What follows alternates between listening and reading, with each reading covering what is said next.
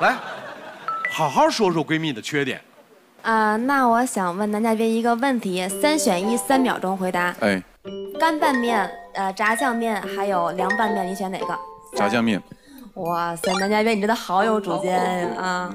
我们家瑶瑶是有一个小纠结的人，我在小事上面也会纠结，比如说我点外卖的时候，哎呀，吃哪个吃哪个，但是我跟女生在一起的时候，从来不会纠结。其实我们瑶瑶就是为你而来的。慧儿姐说的太棒了。虽然她不太喜欢做决定，但是如果她要做一件事情的话，她会很有自己的想法。因为你那么有主见，又那么果断，又那么有男子气概，所以特别适合我们家瑶瑶。最重要的一点，我也要爆料，她生气的时候会怎么样呢？我一个人，呃，然后拎着小包去菜市场，然后买好多好多菜，给自己做一个非常丰盛的小餐。看见美食以后，就完全没有抵抗力了，心情好了。因为能吃的女孩心比较大。关键我自己本身也特别爱做饭，完美啊！那你们可以一起做一起呀、两个人一起去买菜，一起做饭。对，抓住男生的胃。来，张晶，张晶呢的缺点，他就是一个超级路痴，我就知道，我就知道一定会说这个点。对，不认道，永远都没有方向感。他如果坐对了一次地铁，他都能开心半年。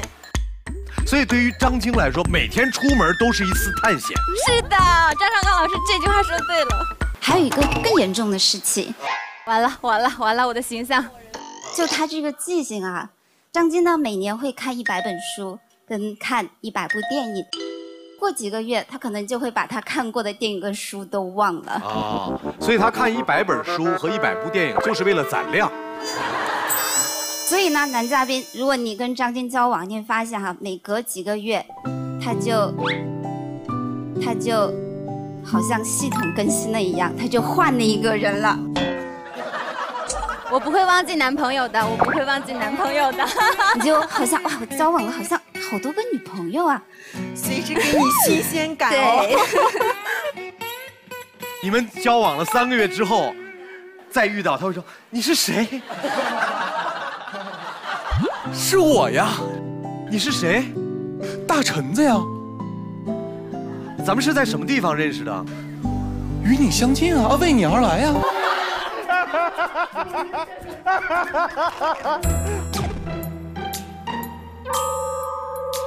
好的，谢谢这位男嘉宾，感谢你来参加我们的节目，请你回到与你与你相见去吧。